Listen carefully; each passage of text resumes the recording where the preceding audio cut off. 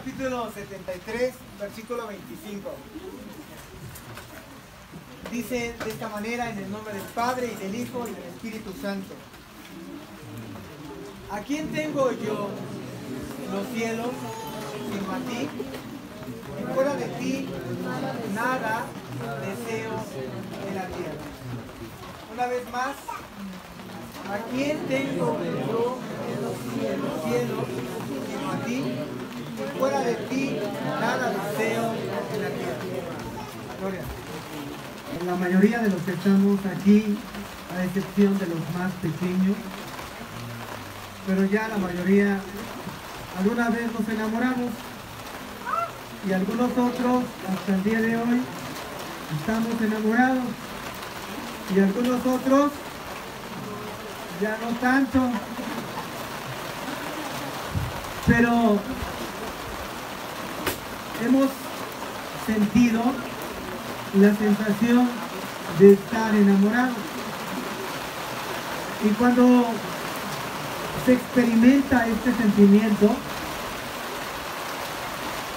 todos están de acuerdo, o estarán de acuerdo, que eso nos hace diferentes, completamente diferentes. Nos cambia. Siendo de una forma, pero cuando aparece este sentimiento, nos cambia. Nos hace, voy a usar, voy a usar esta expresión, nos hace otras personas, nos transforma en otras personas, mientras este sentimiento está ahí presente. ¿Cuántos están de acuerdo con eso? ¿Cuántos están de acuerdo con eso? ¿Cuántos? A ver, levanten la mano los que se han enamorado. A ver. Levanten la mano los que siguen enamorados.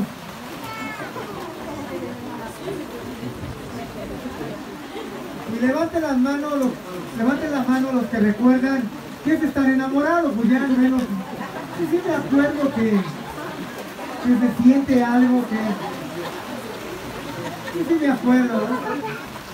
Y cada uno tiene experiencias personales de esto. Algunos se vuelven muy románticos, ¿sí? Y los demuestran haciendo versos, diciendo poemas, cantando, etc. Cada uno de nosotros tenemos experiencias diferentes o demostraciones diferentes. Algunos que no se bañaban y se enamoran y empiezan a bañarse. Sí, la verdad, empiezan a bañarse. Y las experiencias, como dije hace unos instantes, pueden ser diferentes, distintas. Pero cuando estás enamorado, no hay otra cosa más que te importe. Puedes vivir de aquí hasta el otro extremo de la ciudad, pero no te importa recorrer la ciudad. No te importa. Solo por, porque estás enamorado. Si tú y yo prestamos atención a este versículo, el que escribió el Salmo 73, aunque no dice que está enamorado, pero es un hombre que se enamoró de Dios. Él dice, ¿a quién tengo en los cielos sino a ti? Y no hay otra cosa más que deseo en la tierra más que a ti, Señor. Alguien, además de David, porque en el capítulo 72 vas a encontrar al final que dice, aquí terminan las oraciones de David. ¿Cuántos se han dado cuenta? A ver, ¿cuántos se han dado cuenta? En el capítulo 72 del libro de Salmos, al final dice, hasta aquí terminan las, las oraciones del rey David. Y el 73 de alguna manera muestra que es una persona diferente a David y que dice, ¿a quién tengo en los cielos sino a ti? Y fuera de ti, nada deseo en la tierra. Se enamoró. Se enamoró de Dios. Así tal cual, se enamoró de Dios. ¿Quién hace posible que alguien se enamore de otra persona? A veces es el muchacho enamorándose de la muchacha, a veces es la muchacha enamorándose del muchacho. Alguien. Amor a primera vista, por tener mucho contacto, por convivir tanto con él en la escuela, en la calle o en cualquier otro lugar. Pero despierta, despierta esa sensación en uno o en otro. Muchos van tras Dios, pero van por conveniencia. Si hay hombres y mujeres que se han enamorado de Dios. Si hay hombres y mujeres que están enamorados de Dios. No sé si tú, yo no sé si tú estás enamorado de Dios, pero si hay hombres y mujeres alrededor del mundo. Hay una iglesia que está enamorada de Dios. Se enamoró de Dios.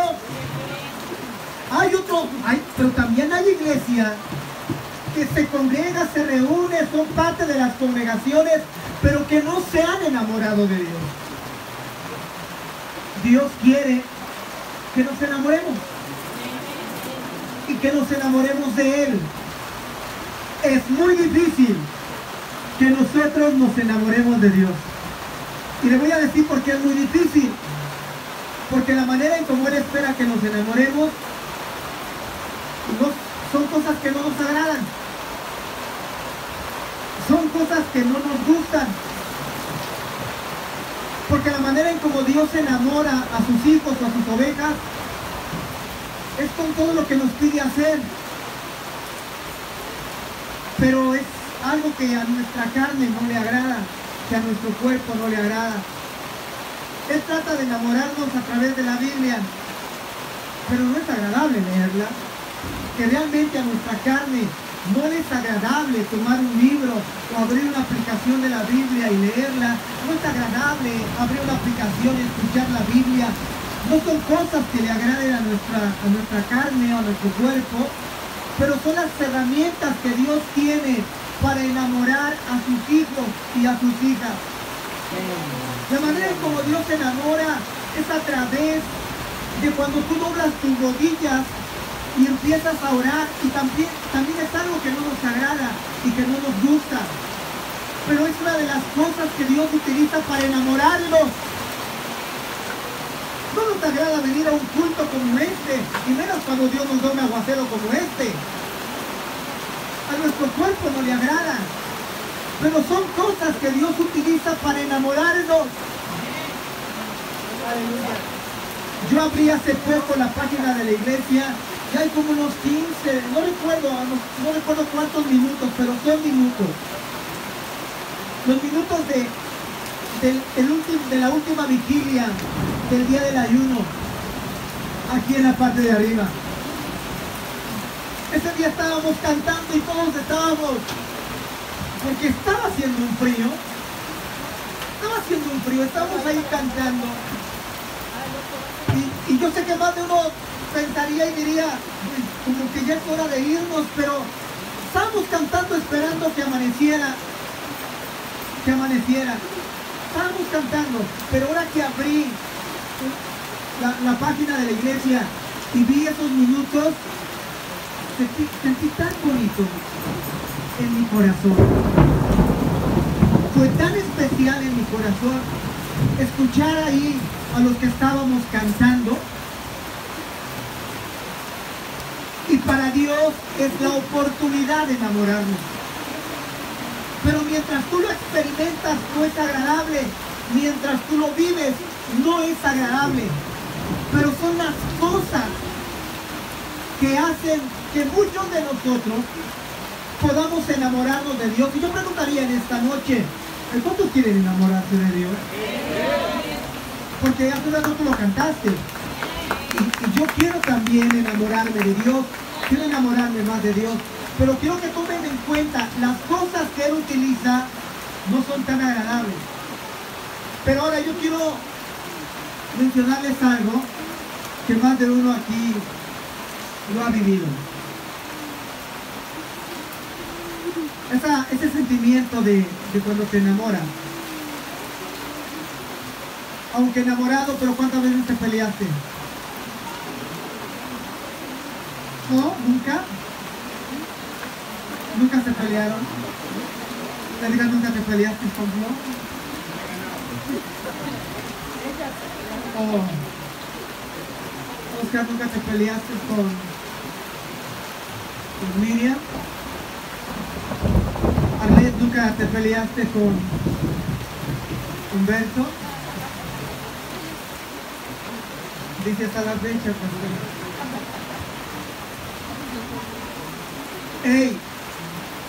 Pero más de los, que, los que hemos experimentado este sentimiento y nos hemos peleado y después, y después venía la reconciliación, ¿la amabas menos o la amabas más?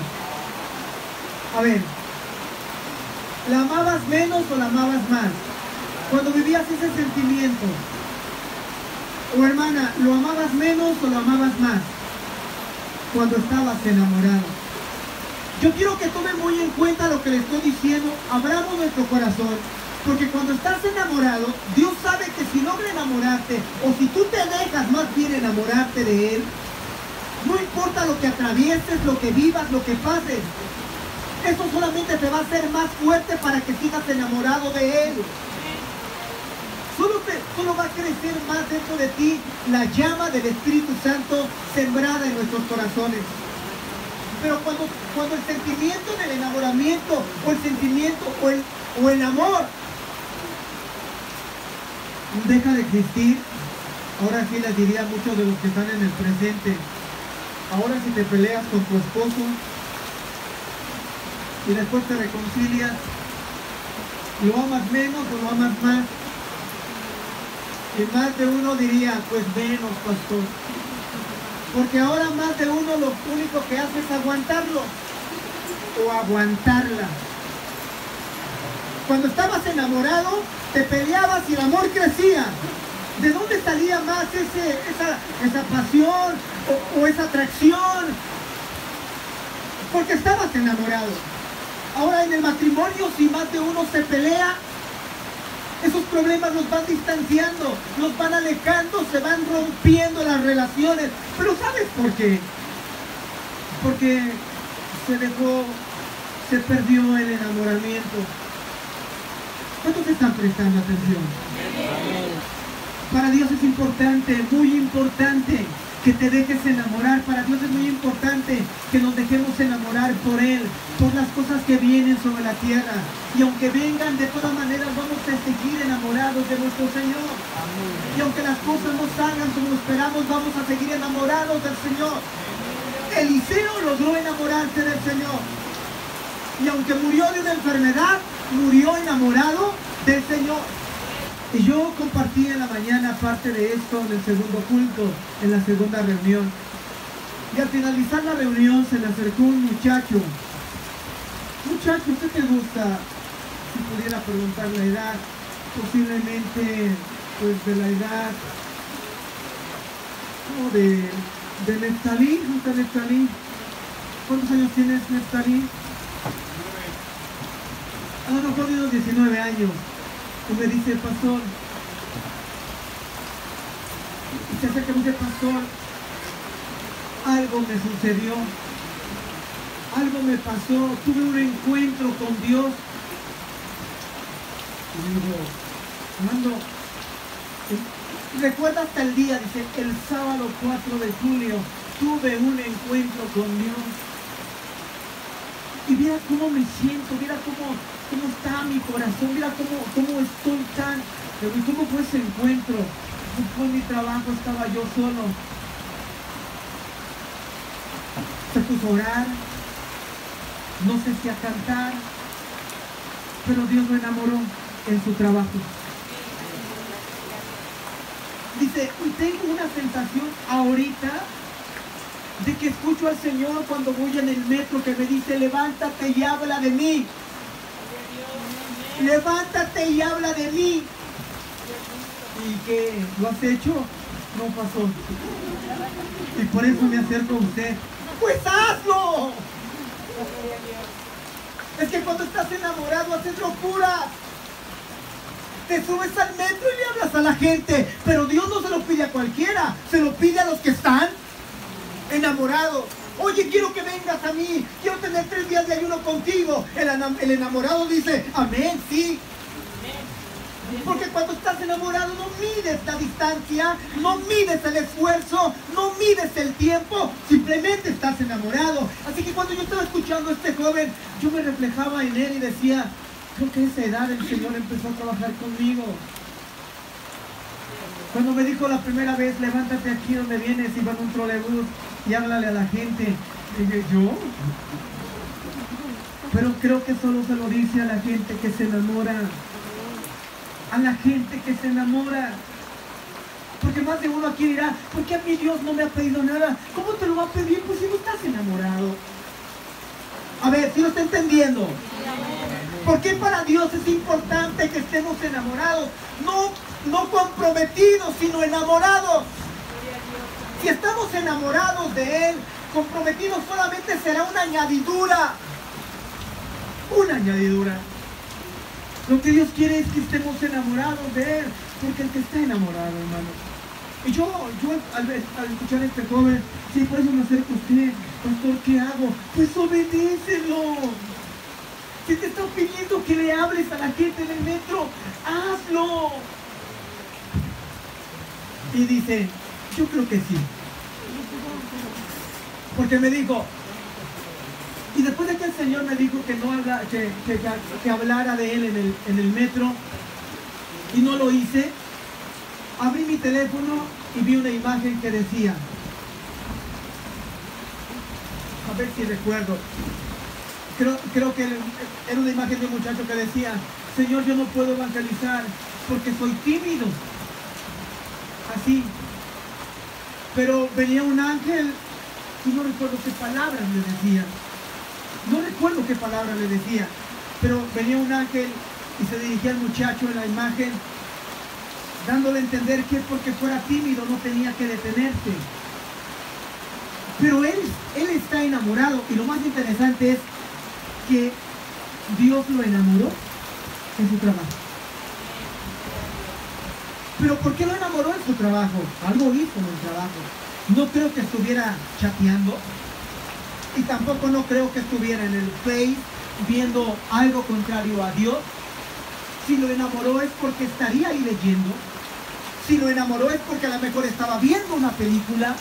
Si lo enamoró, una película cristiana. Si lo enamoró es porque quizás dobló sus rodillas. Si lo enamoró es que posiblemente estaba leyendo. Pero no creo que lo haya enamorado viendo cualquier cosa secular. ¿Cómo quieres que Dios te enamore? ¿O cómo queremos que Dios nos enamore si lo que estamos haciendo es contrario a lo que Dios usa para enamorarnos? Porque la manera en como Dios va a enamorar tu corazón es a través de que estés leyendo, o de que estés orando, o de que te estés congregando. La manera en como Dios está buscando enamorarte es todo lo que está relacionado con lo que Él es, con lo espiritual. Aleluya. Así es como te enamoras. ¿Sabe? El día de ayer mi hijo vio una herida que tengo aquí en la rodilla. ¿qué te pasó, papá? No, quise detener una combi con la rodilla. Le digo, me atropellaron. La combi me atropelló y fue, esto me quedó como recuerdo. Y tengo una cicatriz en la pierna, en la rodilla izquierda. Pero el día que me atropellaron, no me acordé de Dios, Él lo sabe. Yo quedé en shock. Como pude me levanté y terminé en el hospital pediátrico de Xochimilco y de ahí me, me llevaron hasta la casa uno de mis familiares y al siguiente día, al siguiente día, yo estaba escuchando música cristiana y Dios me enamoró con una canción. hasta hoy la recuerdo con una canción. Esa canción la canta el hermano Marino. Es un cantante de, de mi época. Yo sé que más de uno pues ya Mira, ¿quién es Marino? ¿Quién es Marino? Hoy en día más de uno pues sus grupos son la hormiga cristiana, este, eh, ¿qué otro? Este de Revolución de Amor, etcétera, y otro tipo de cantantes. Pero a mí me tocó esa época cuando Marino era uno de los levitas o cantantes y no sé si alguien dejó puesto ese cassette, porque eran cassettes. Soy de la época de los cassettes. Algunos todavía de aquí son de los discos grandotes, no, yo soy de más para acá. Sí. Y llegó esa canción. Esa canción me enamoró, hizo que me enamorara de él. Esa canción me puso a llorar y a decirle gracias y decirle Señor, de aquí a seguirte, de aquí a buscarte, de aquí me voy a bautizar. Porque después de esa canción yo decidí bautizarme. Ese accidente yo lo tuve a los 18 años de edad. Cuando me atropellaron fue a los 18 años de edad. Miren las cosas que Dios utiliza a veces para enamorarnos. Y así que estando en la cama, sin poder caminar como, como yo quisiera, escuchando esa canción, terminando esa canción, nadie me interrumpió, Dios cuidó ese momento y después de eso le dije a mi esposa, yo me quiero bautizar. Y anduve buscando a ver dónde bautizarme. No crea que fui y le dije, oiga pastor, ¿cuándo tiene bautizo? Pues de aquí a tres meses. Ah, bueno, está bien. No, yo terminé enamorado. Y entonces le dije, pastor, yo necesito bautizarme. Pues yo todavía no voy a tener bautizo. Oiga, pero yo necesito bautizarme. Y me dijo, creo que en la Nueva Jerusalén va a haber bautismos el día domingo. Pues pastor, yo voy a ir a bautizarme allí. Adelante. Y mi esposa me acompañó. Y nos fuimos a Tlaltenco. Y llegamos ahí.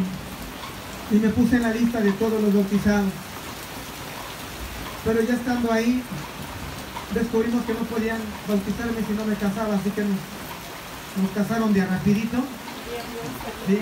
Si ella pensaba decir que no, ese día la agarraron a fuerza y de lo, lo acepta como su legítimo esposo y, y, y no le quedó otra más que decir sí, acepto.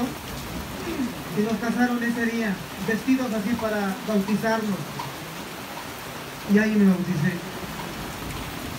Porque cuando estás enamorado, hermano, y es lo que Dios está buscando, busca enamorar a cada uno de nosotros.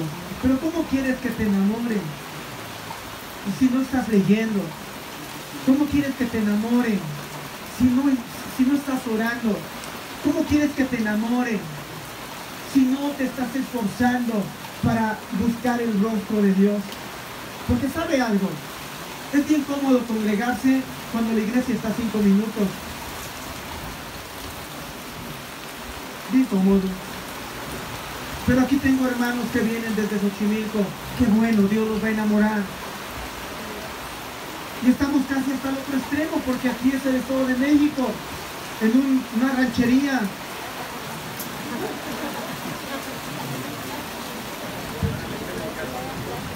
casi casi pegándole a la sierra. Es agradable reunirse a 5 minutos, a 10 minutos, a 15 minutos. ¿Con cuándo te va a enamorar el Señor con esto? ¿Cómo te va a enamorar el Señor con esto?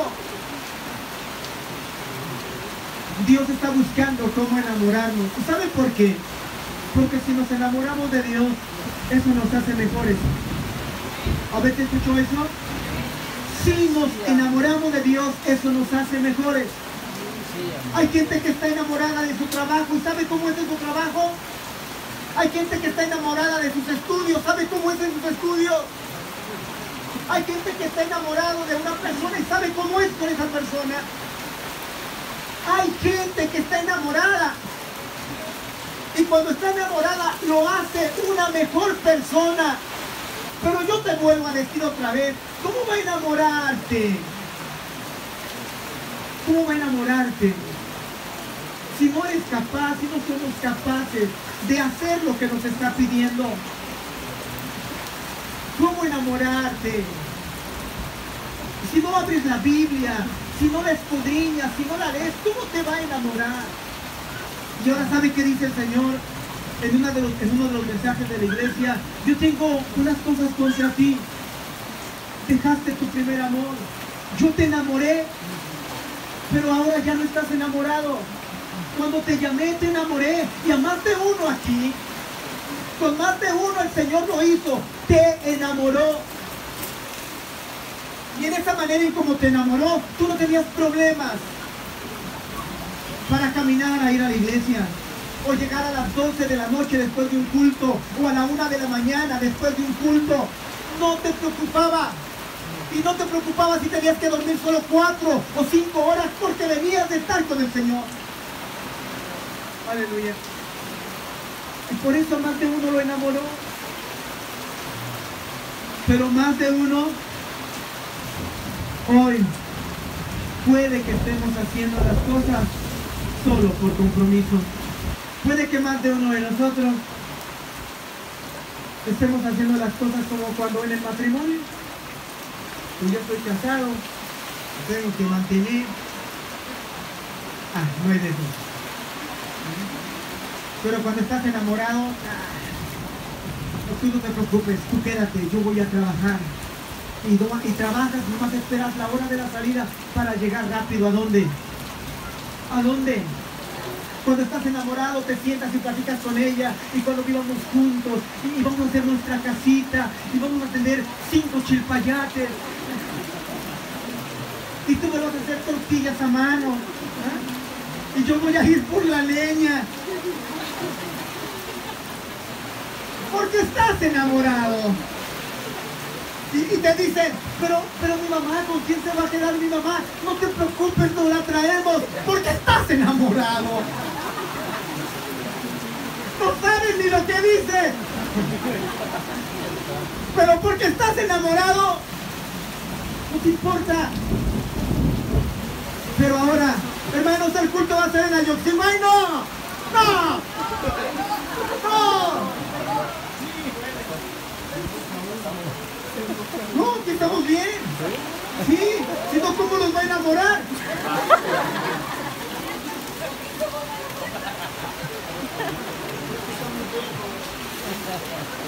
¿Sabes? La canción con la que me enamoró el Señor, no sé con cuál, posiblemente aquí hay alguno que fue enamorado de Dios con alguna canción. ¿Sabes con cuál me enamoró? Hay una canción de Marino que dice, por el camino del Evangelio voy caminando y voy sintiendo el poder que va de mí. Nunca creí predicar a Jesucristo, pues era yo pecador y hoy sigo aquí. No, hermano, cuando empezó esto, y Dios tocó mi corazón, casi casi me dijo, no importa por dónde has andado, puse mis ojos en ti y me vas a seguir. Y me vas a predicar. Me enamoró. Me enamoró. Créame, me enamoró. Y a más de uno lo enamoró. Pero más de uno, más de uno hoy hace las cosas por compromiso. Iglesia, Él ya viene. Y una de las palabras para la iglesia es, mira de dónde has caído y por eso arrepiéntete. Tengo una cosa contra ti, dejaste tu primer amor. Antes hacías locuras por mí. No tenías problemas por las distancias y no había problemas y no tenías para el pasaje. Hasta prestado pedías para poder estar en el culto, alabarme. No te importaba ayunar y no te importaba orar. No ponías pelos. No había pelos. ¿Y sabes por qué? Porque estabas enamorado. ¿Crees acaso que Dios no sabe cómo está tu relación con Él? Dios ve a cada uno y dice, este no está enamorado de mí, este sí está enamorado de mí, este no está enamorado de mí, este sí está enamorado de mí. ¿Crees que Dios no lo sabe? ¿Crees que, crees que Dios ante esto no dice, este sí está enamorado de mí, esta, ella sí, ella sí está enamorada de mí? No, ella, es por- ella está por compromiso. Ella viene por compromiso. Qué triste. ¿Crees tú que Dios no sabe todas estas cosas? Este salmista dijo, ¿a quién tengo en los cielos sino a ti? Eres mi más grande anhelo, eres mi más grande deseo. ¿A quién tengo en los cielos sino a ti? Y fuera de ti, nada deseo. ¿Por qué? Porque logró enamorarse, porque se enamoró, estaba enamorado.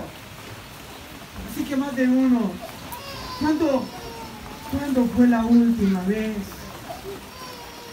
que hiciste algo por tu Señor, algo que realmente demuestra que todavía quieres estar enamorado o deseas que Él te vuelva a enamorar, porque hermanos, Él siempre está a la puerta y llama, pero no te va a enamorar si estás ahí metido en las redes sociales, viendo todo menos de Dios. No te va a enamorar si no estás abriendo la Biblia y la escudriñas, no te va a enamorar y tampoco te va a enamorar si no, si no vienes a los cultos, si no vienes a la iglesia. Esa es la grande diferencia espero que lo lleven presente en tu corazón y espero que dejemos que Dios nos siga enamorando. Amén.